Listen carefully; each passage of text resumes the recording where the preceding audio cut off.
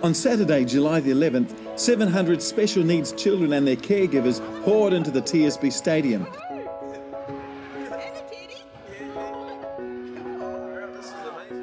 Some with life threatening illnesses or physical impairments, the event was organised to put a smile on the faces of these disadvantaged children.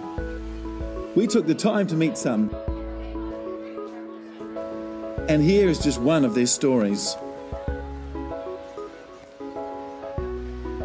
I knew he was Down syndrome before he was born.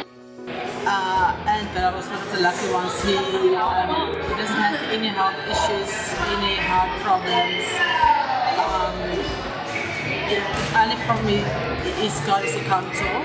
So we're still working on that and trying to figure out what, what's wrong exactly. Um, so he's going to mainstream school, he starts school in. And they've been really good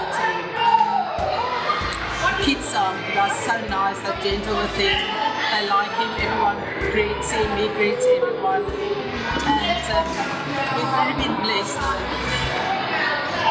with all the stuff we got from school.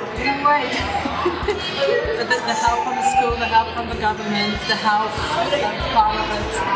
It's just, it's just been amazing. We wouldn't have been able to, we came, we came from South Africa about 13 years ago.